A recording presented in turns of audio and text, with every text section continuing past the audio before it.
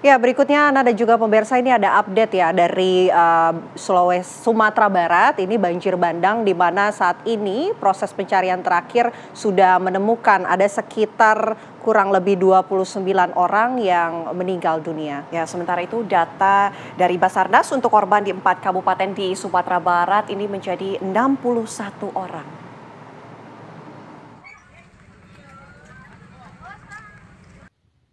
Tim penyelamat gabungan kembali menemukan tiga jenazah korban banjir bandang di tanah datar pada hari Kamis kemarin. Dua korban merupakan warga Rambatan dan satu korban lainnya merupakan warga kecamatan Sepuluh Koto.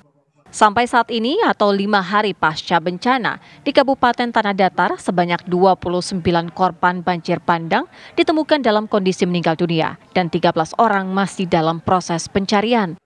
Sementara data Basarnas menjadi 61 korban meninggal dunia dari empat kabupaten kota di Sumatera Barat, yaitu Padang Pariaman, Tanah Datar, Agam, dan Kota Padang Panjang.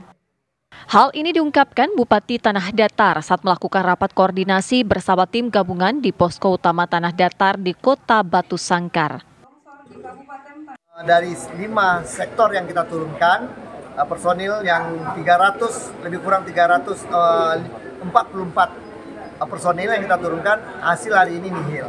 Nah, jadi tetap korban uh, sesuai data pukul 12 siang tadi yaitu korban meninggal di angka 29 orang, korban hilang di angka 13 orang.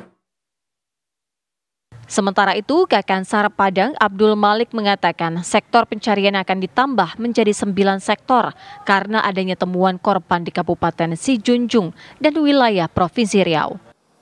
Ya untuk yang ditemukan yang meninggal dunia 61 orang. Sektor pencarian diperluas sampai ke mana saja Pak? Ya tadi apa yang disampaikan Bapak Bupati bahwa sektor pencarian ini kita bagi 9 sektor dan ini kita yang belum masuk sektornya hanya si Junjung. Pencarian korban banjir lahar dingin dan banjir bandang dilanjutkan pada Jumat pagi dengan memfokuskan pencarian di sembilan sektor yang telah dibagi. Sementara sembilan warga Galuang Nagari Sungai Pua, Kabupaten Agam masih mendiami posko pengungsian di SD 05 Galuang. Salah seorang warga mengatakan ia terpaksa tinggal di posko karena rumahnya sudah tidak ada lagi akibat diterjang lahar dingin Marapi pekan lalu. Di Sungai Pua tercatat setidaknya lebih dari 14 rumah rusak akibat lahar dingin pekan lalu. Warga yang selamat atau rumahnya rusak dan terdampak memilih tinggal di rumah sanak keluarganya tak jauh dari lokasi ini.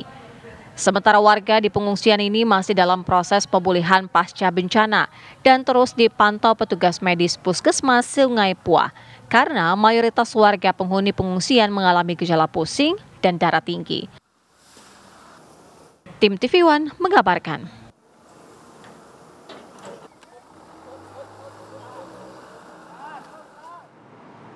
Pemirsa untuk mengetahui informasi terkini sudah ada rekan kami Andri Saputra yang berada di Tanah Datar, mm-hmm. Sumatera Barat. Selamat siang. Andri, fokus dari pemerintah pasca bencana banjir untuk penanganannya seperti apa saat ini?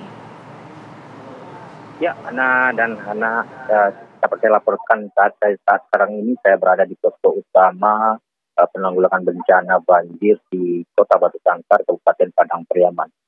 Uh, dari pagi tadi, uh, tim SAR gabungan telah menyisir uh, semua sungai aliran sungai sepanjang 8 kilo.